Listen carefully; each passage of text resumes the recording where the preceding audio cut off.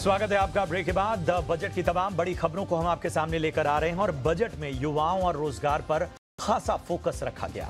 शिक्षा के लिए लगभग डेढ़ लाख करोड़ का आवंटन था जो पिछले बजट से बत्तीस फ़ीसदी ज़्यादा है। नौकरियों स्किल ट्रेनिंग से जुड़ी पाँच योजनाओं का विशेष रूप से ऐलान किया गया। Government will launch a comprehensive scheme for providing internship, internship opportunities in 500 top companies to 1 crore youth in 5 years. They will gain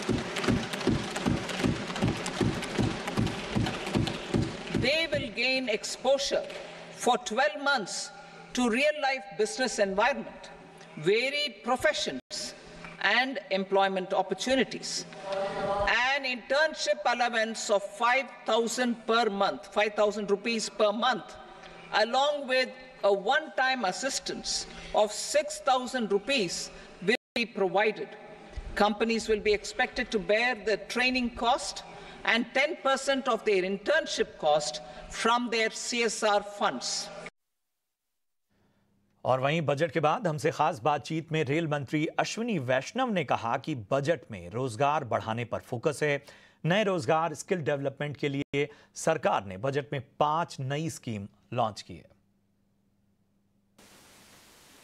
वित्त मंत्री निर्मला सीतारमन ने वित्त वर्ष 2024-25 के लिए बजट पेश किया। सरकार का दावा है कि ये विकसित भारत का बजट है, उसकी नींव को और मज़बूत करने वाला बजट है। लेकिन इस बजट की और क्या कुछ बारीकियाँ हैं, बात करने के लिए हमारे साथ केंद्रीय मंत्री अश्विनी वैष्णव जी मौजूद हैं। सर, धन्यवाद बात करने के लिए। पहला सवाल यही कि इस पूरे बजट की जो आत्मा थी, वो यही थी कि सरकार रोज़गार ज़्यादा बनाना चाहती है। क्या ये एक समस्या थी जिसको सरकार ने एहसास किया जिसको माना कि रोज़गार के मोर्चे पे कहीं कमियाँ रह गई हैं और यही वजह है कि बजट पे ज़्यादा फोकस है ओवरऑल आप कैसा देखते हैं? पिछले दस वर्षों में प्रधानमंत्री श्री नरेंद्र मोदी जी ने भारत की अर्थव्यवस्था को हर सेगमेंट इकोनॉमी के हर सेक्टर को और समाज के हर वर्ग को एम्पावर किया है और एक ऐसी फाउंडेशन बनाई है जिस फाउंडेशन पे बहुत बड़े काम किए जा सके। अगर आप आज के बजट को देखें तो उस पॉलिसी का उस फोकस का कंटिन्यूएशन है। साथ ही साथ बहुत बड़ा फोकस है एक फोकस्ड एम्प्लॉयमेंट जनरेशन स्कीम की जिसमें पाँच स्कीम्स आज माननीय वित्त मंत्री जी ने अनाउंस की है।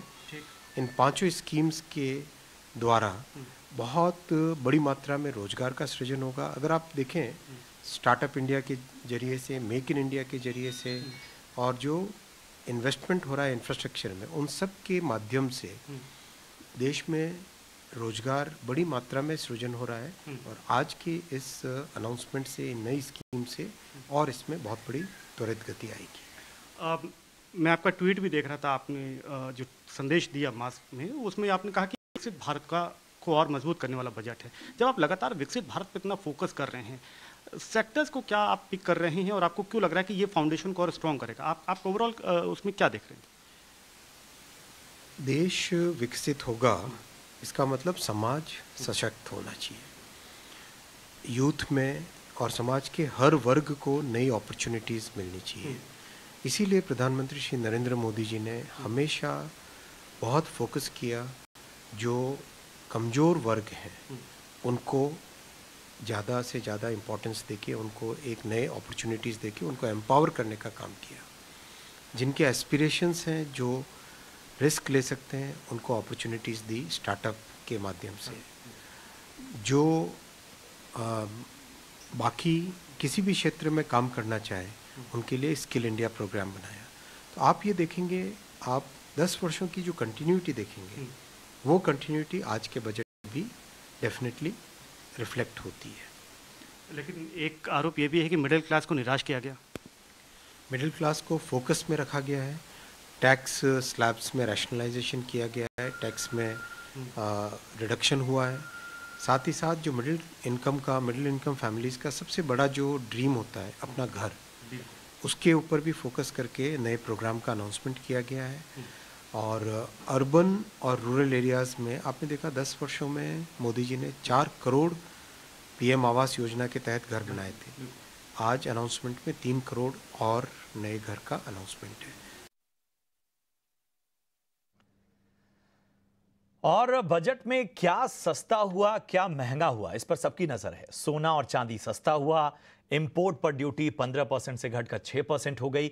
इससे सोना चांदी सस्ता हुआ, वहीं कस्टम ड्यूटी बढ़ने से प्लास्टिक प्रोडक्ट और उससे जुड़े हुए जो सामान एसेसरीज हैं, वो महँगे हुए हैं।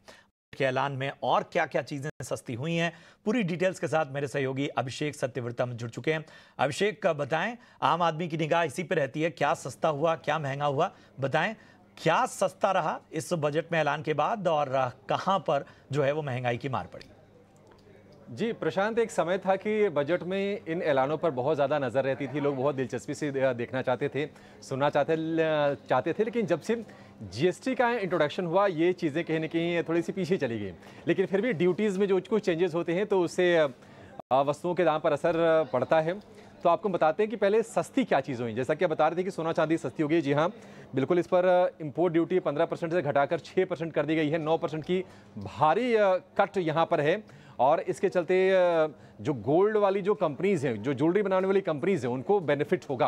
और आज हम बातचीत भी कर रहे थे सेनको गोल्ड का मैनेजमेंट हमारे साथ था। उनका ये कहना था कि नहीं, वो ग्राहकों को भी इसका फ़ायदा देंगे। तो हम मान के चल रहे कि ज्वेलरी थोड़ी सी सस्ती ज़रूर हो जाएगी। इसके अलावा फेरो निकल ब्लिस्टर कॉपर और 25 ज़रूरी मिनरल्स के इम्पोर्ट ड्यूटी में भी कमी की गई है। ये सस्ता हो जाएगा। मोबाइल फ़ोन चार्जर और मोबाइल फ़ोन के एक्सेसरीज पर जो बेसिक कस्टम ड्यूटी है, वो घटकर 15 परसेंट हो गई है। इसके अलावा कैंसर के पेशेंट को भी सरकार ने राहत देने की कोशिश की है। तीन कैंसर की अहम दवाओं पर और एक्सरे उपकरणों से बेसिक कस्टम ड्यूटी सरकार ने पूरी तरह से हटा ली है। इसके अलावा फ़िश ब्रूड स्टॉक श्रिम्प और फ़िश फ़ीड पर कस्टम ड्यूटी घटकर पाँच परसेंट हो गई है। इसके अलावा सोलर पैनल पर अब कस्टम ड्यूटी नहीं लगेगी और साथ ही साथ लेदर गुड्स पर ड्यूटी में कमी की गई है। अब आपको वही चीज़ें बता देते हैं, जो कि थोड़ी सी महँगी पड़ेंगी। उसमें प्लास्टिक प्रोडक्ट और इससे जो रिलेटेड जो गुड्स हैं उनके कस्टम ड्यूटी बढ़ी है।